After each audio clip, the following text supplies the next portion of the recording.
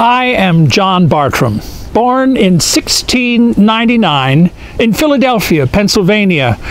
In my early days, I traveled the eastern seaboard of this great continent, collecting the plant species that were unique and introducing them to the European trade in ornamental, medicinal, and agricultural food crop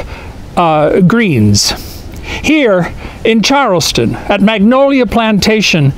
you can see the difficulties involved in the kind of trade in, in which I was engaged. Generally, as much as I could, I traveled by water. My brother lived in Wilmington, in North Carolina, and he was a, a, delegate to the governor's assembly, so that gave me access to most of the major ports on the eastern seaboard.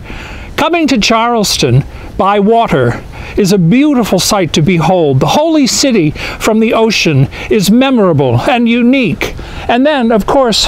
as a tidal flow, the Ashley River delivers you to all of the major estates along the riverfront, and they were gorgeous and glorious in their prime in their day of, of ornamental gardens and people walking casually through grand lawns amidst flowered borders very much in the English country landscape style that I supplied plants to Capability Brown for.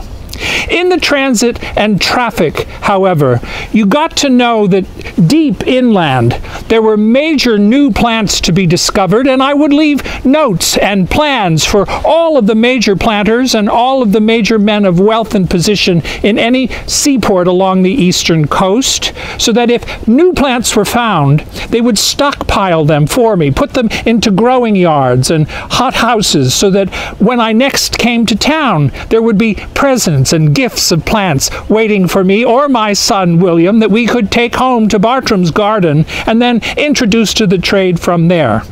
Thomas Jefferson once is quoted as saying, The greatest gift that any person can give to a country is that he adds an useful plant to its inventory. I added more than 200 new plants to the international trade in what was then a discovery of the huge value that plants gave, both medicinally and horticulturally, so that taken together there was money to be made in them thar hills.